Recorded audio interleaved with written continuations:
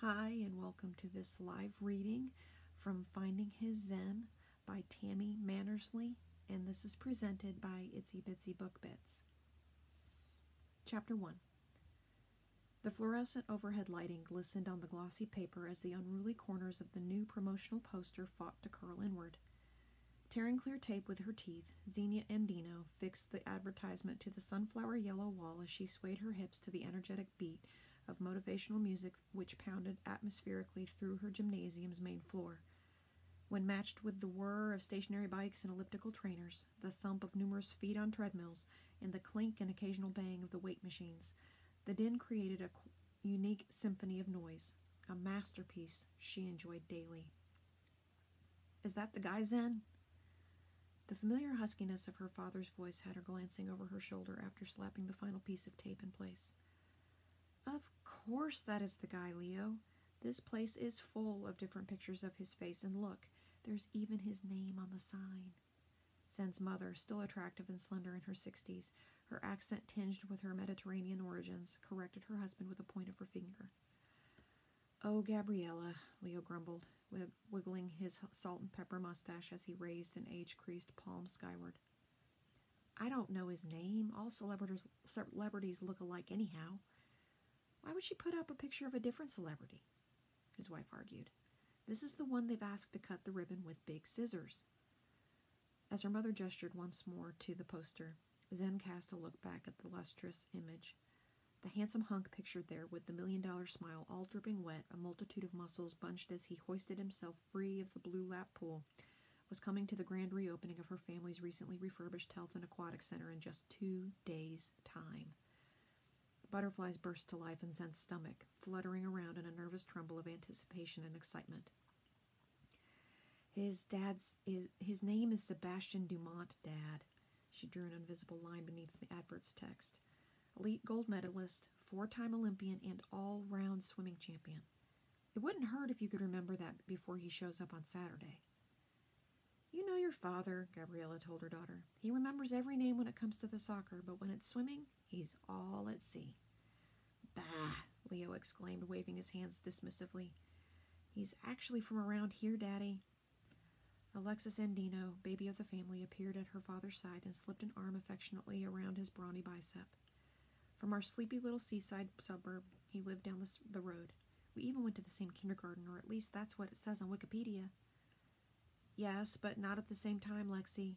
Zen glanced at her younger sister, the woman who was her opposite in so many ways. Where Zen was shorter and petite with long dark hair, Lexi was tall and leggy with a choppy bleached bob. Her sister was trendy, wore name brand clothing, and maintained numerous selfie laden social media accounts while Zen preferred the simpler things, was perennial, perennially happy and completely at ease with her natural self and her bold European features. When Sebastian was five, you were barely a blip in Mum and Dad's thoughts. Yeah, well, Mum was pregnant with you at the time, but that doesn't detract from the fact we still attended the same kindy. Any famous connection is still a famous connection, Zen. Her sister's adamant expression had Zen giggling. I hope you're not planning on telling him that, Lex I'm sure you wouldn't be the first to try to claim celebrity status by association. Don't be silly. I've got more tact than that.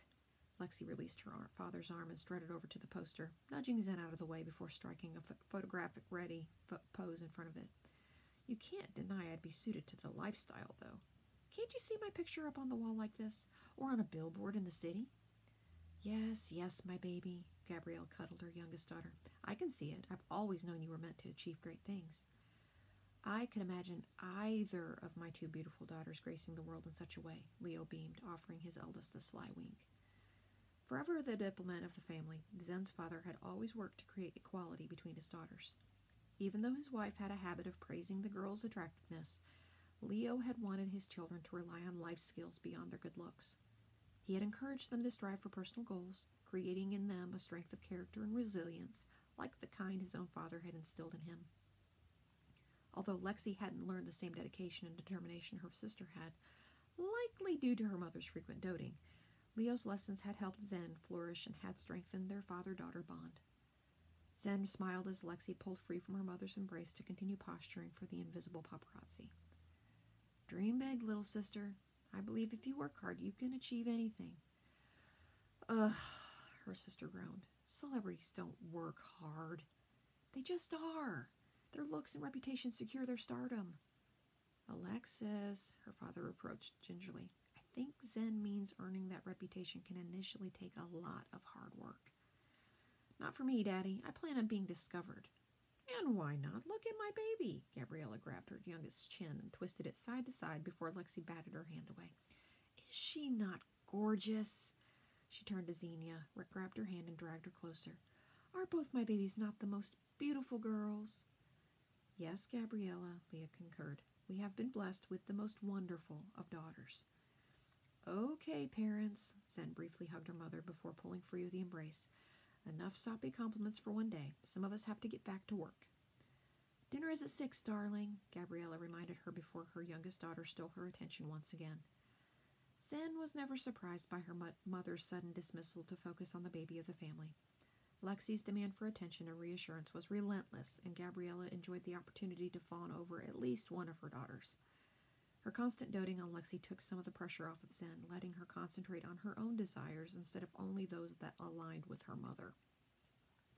When Zen passed her father, he snatched her hand and squeezed it lovingly. You are the heart of this place, he told her, gesturing around the complex. I hope this swimmer man's visit helps you achieve your dreams. Thanks, Dad. She pecked him on the cheek and then left the three of them as they continued discussing Lexi's copious star qualities. She prayed her father was right and hoped Sebastian Dumont's participation in the grand reopening activities of the Poseidon's Shore Health Club would give the business a beneficial boost. Although a surge in new memberships had followed their soft opening a month ago, Zen wanted to do everything in her power to ensure the establishment that was bequeathed to her on her grandfather's passing last year surpassed expectations and stood its ground against its modern competitors. Her beloved grandfather had always known her passion for the health and fitness industry matched his own, and while he'd included her mother, father, and Lexi as minority shareholders on the handover of the original outdated gymnasium, he had left Zen with the majority stake and a substantial amount of savings to complete all her refurbishment plans. He'd shared her dream to turn this magnificent new center, with its state of the art exercise machines, highly qualified instructors, contemporary classes, and indoor and outdoor swimming pools, into one of the most renowned in the area. As Zen approached the front reception desk, both the sportswear clad female powerlifter standing behind it and the lazy, sleepy eyed golden retriever curled up below raised their head and greeted her with a smile. Amy? Zen nodded at the woman. Melrose, she greeted her furry companion with a scratch to the top of his skull. How's the morning been so far? Any newbies coming through? We had a few before nine. A couple signed up to attend Lenny's yoga class, but not much since. The redhead flicked her braid over her shoulder and gestured to the dog still panting cheerfully near her feet. Mel has been doing, doing a great job, though, encouraging our members to bring in their canine buddies. I took some people through to the fenced yard, showed them our dog friendly activities, so I think he might have a few playdates planned in the coming weeks. Who's a lucky boy? Zen bent briefly to rub Mel's silky ears before looking back at Amy. So, how are we going with everything for the opening on Saturday? On track? Yep, so far so good. We've had a call from Channel 7 News confirming their attendance. Amy's eyes twinkled excitedly. The gym's opening will be a featured story around the country. I know you don't like the limelight, Zen, but you've got to admit that's pretty awesome for business. Sure thing, as long as it's Lexi's image flashing on everyone's television screen and not mine. I still can't believe you asked her to be the face of the complex. This place is your baby. It should be you who's the star of the segment. Definitely not my thing, Ames. Plus, I think you're forgetting that no one outshines Lexi. Not even celebrity swim star Sebastian Dumont. I doubt even him, Zen laughed and strode across to the open doorway leading to the back office, but a final comment from Amy had her pausing before entering. I guess not being in the spotlight beside him means you'll have more time to admire his hunky physique from afar? Of course not, Ames. I'll be keeping things strictly professional. She winked playfully before slipping into the back room. As she did so, the smartphone in the back pocket of her denim shorts chimed, heralding a new email. Tugging the device free, she tapped the screen and read the text bubble. Morning, Xenia. Flights are confirmed for midday tomorrow. Accommodation plans have changed. We're no longer booked in the city. Seb and I will be staying in Sandgate at Seb's request. New contact details Blue Water View Beach House on Flinders Parade. If you need anything before Saturday, you've got my contact info. Emmett Hobbs, talent agent, The Icon Agency, Sydney. Elation swirled through Zen's veins, a buzz of adrenaline. She grinned and put the phone back in her pocket.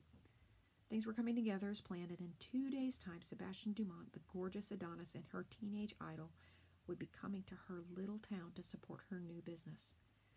She might have been joking with Amy about her intentions to ogle the swimming superstar, but she couldn't help but be over the moon about meeting him in person. She'd dreamed of it ever since she tacked a poster of him up on her bedroom wall when she was 16. How many people got to meet and work with their lifelong celebrity crush? It was a literal dream come true, and Zen felt blessed by destiny that it was actually going to happen.